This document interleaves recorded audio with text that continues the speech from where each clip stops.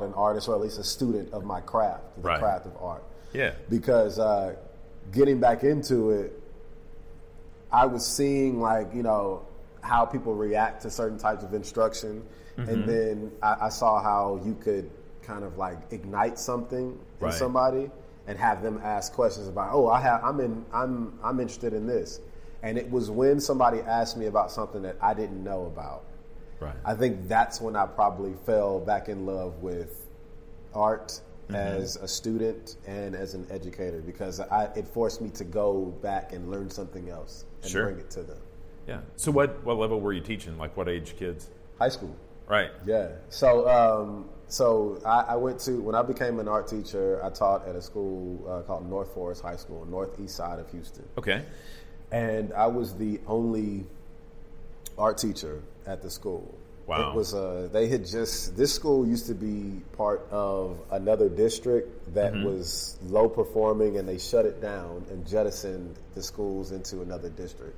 So they basically it was all the same students, but all of the teachers, the whole staff there, faculty and staff, basically lost their jobs Wow. and had to reapply because like it was the, i mean the school just wasn't being run well at all and it was kind of like the culture Sure. there and so essentially it was all new students i mean all new staff and faculty Right. and staff that came there so the biggest thing was winning our students over Right. so i taught the i taught freshmen all the way to uh, uh, seniors Yeah.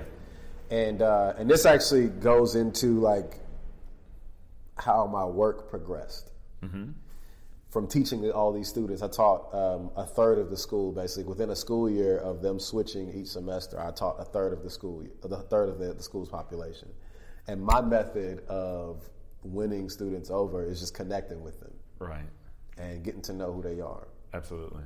And so, um, so from there, I was able to teach, you know, the, these these kids where you know eighty percent of them were coming into the class saying, "I don't know anything about art. Right. I can't draw. I don't even like art." Right. And so we move we move past that. Okay, I see. Okay, Yeah. well, let's No, I agree. I I teach uh, high school art out in Keller. Okay. And um, yeah, I mean, it's. I feel like the, in the art classroom, teachers are able to make relationships with students the way you can't in other classes. I mean, because there's so much time when when you're you know you're working and it's time it's time where you can develop relationships Yeah. with kids while they're working Right. you know and and uh, try to pull it out of them and, yeah. but um, right now so at, at some point you decide it's uh, it's time for an MFA Yes. and so so you already had it in mind that you were going to do that Right. then it was a question of where Yeah, it was a question. It was a question of where and when, because I actually went earlier than I thought I was going to. I had this idea. I had this. I don't know why I gave myself that much time, but I had this. I had this six-year plan where I was just like, I want to get all this under me. Right. It just sounded good. It was all lip service, really. right But uh, but yeah. So where uh, and, and when? So when it came to where, one of the things that I was thinking about was, and it was, I don't know. I think I was I, I, was thinking small at the time, just because. I mean, I had there was there was this culture of thinking that it's in my community at least that art isn't like a thing that can really give you the life you want. Hmm. And so, in my mind, I was going against that. I just, I, I was okay. We'll see what happens, but this is what I know I want to do right because it was just that was just it. I was like, I, I at least need to see for myself. So I was like, I'm gonna make it happen somewhere, but I want to try to find somewhere where it's accessible. So I was thinking, okay, maybe somewhere in, in Texas. Mm-hmm. I think that'll be a good look. It'll be you know in-state tuition. Let's see what happens, and uh, hopefully I could get funded. So I applied to um, a few schools. I, I applied to UT Austin. I applied to um, TCU and um, uh, U of H. Okay. Okay, and so I was thinking because I was like, you know, just let me put these fillers out here and see what happens. Now, my technique was there. My writing and concept wasn't really there. Mm-hmm. Didn't really, didn't really have too much insight on that, and like to know that like my, my, my writing wasn't there. I was thinking that'll carry me through. Like how how well Right. I do things will carry me through, and uh, it didn't. I got waitlisted. I got waitlisted and then didn't make it. And so me being competitive, Right. I was like, okay, I at least need to know like why or find out like what I next time because like I was thinking like I'm gonna apply again somewhere Right. else. Like it's just like I can't go out like that. And so I set up a meeting to go to U of H, and I went there to see like how much better were um, everybody. How much better was everybody else than I than I am. Right. I need to know. So I need to know what I need to do better and like Right. what it was. And so I should have done this before the application period, but I, but I, I went and uh, I met with the head of the painting department. He Right. walked me around to see the studios, and I'm thinking like, you know, I saw some stuff. Some of it was, you know, art. It was like Right. artsy, like you know, I'm, I'm gonna do this because I, this is important. Right. But um, there were some that I, I there were there were a couple that I was just like, you know what, um, you know, they probably are better than me, Mm-hmm. you know, visually. Right. But then there were others that were just like, how did this, how? Mm-hmm. And I realized that, um, and I, I, ta- I still keep up with my mentors from undergrad. Right. So I kind of talked to them about it, and they were like, well, if their concept was was was more compelling, and they're able to kind of like get the the viewer to understand what they're trying to say, that's gonna get you through more than the, the guy who can paint really well but can't Right. tell you what he's painting about, or if he's just reproducing an Right. image. And so I was like, okay. And I took that and I, you know, I thought about like, well, what do what do I care about? What am I making work about? Right. And what would I like to continue? Like, what work would I like to continue? And uh, so I, I, I dove in, into that uh, my that way of thinking. And my uncle went to undergrad at UTA. Okay.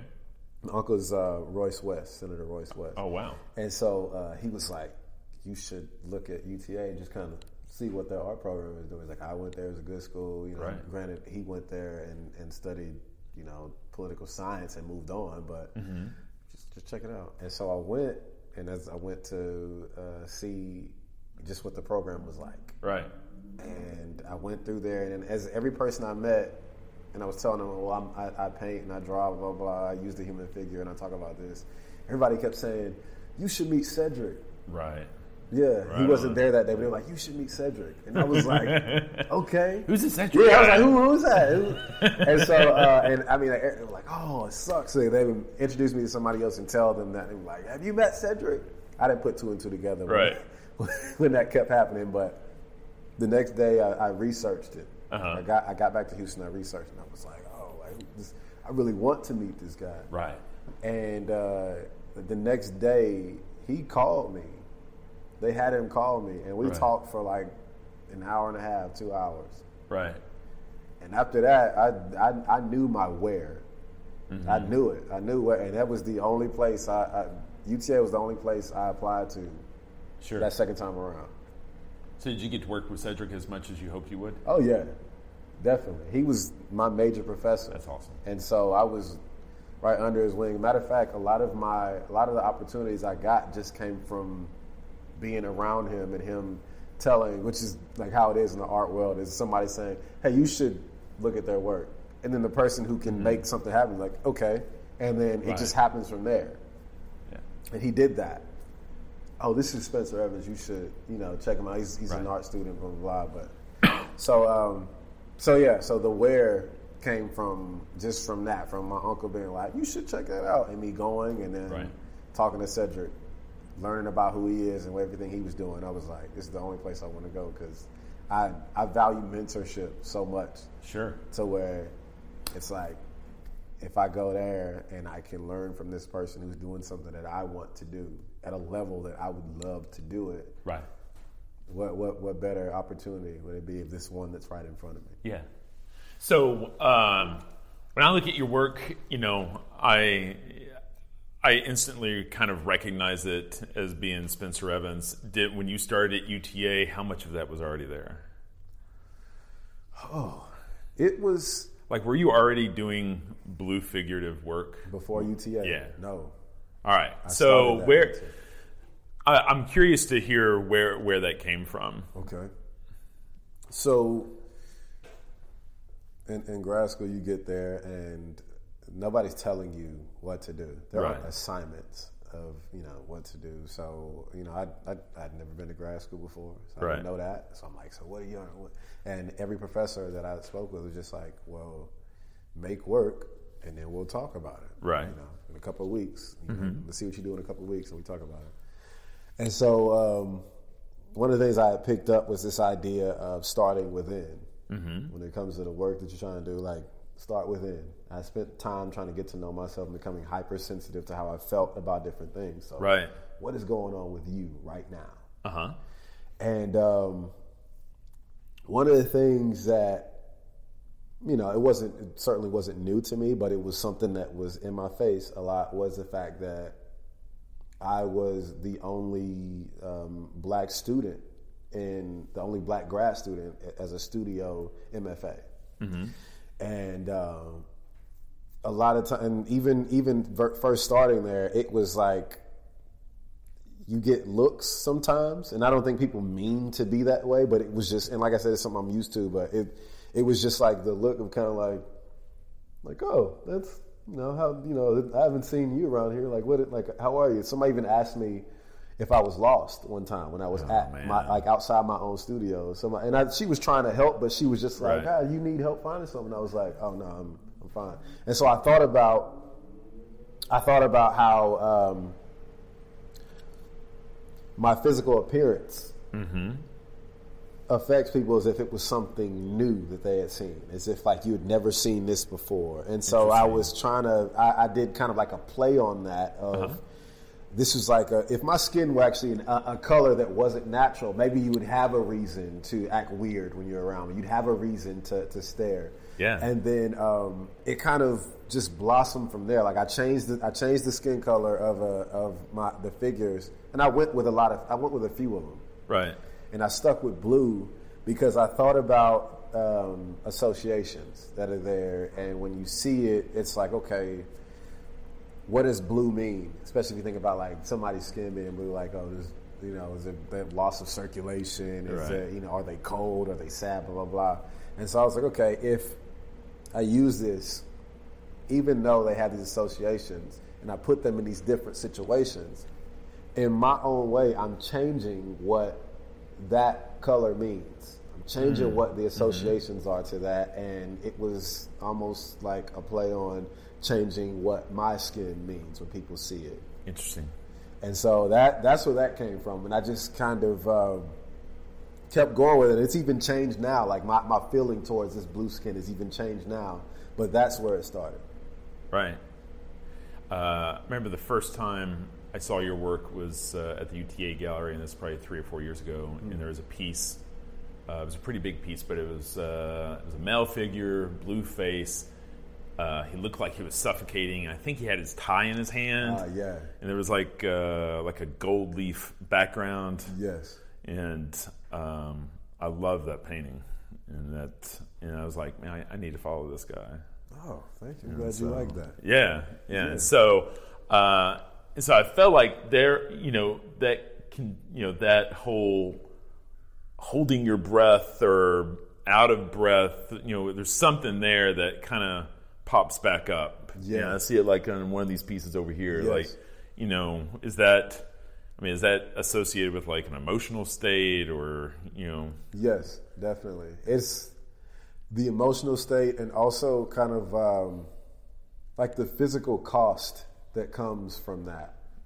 So it's uh, and it's something that I I I would I, I became conscious of it once I started to do this work that was about like my own feelings, and uh, I thought about how I spend a lot of time holding certain parts of myself in, even obscuring my, myself uh, to make others comfortable. and I, you know, I did it in school. Um, I did it when I met people, like at, at certain events. Uh,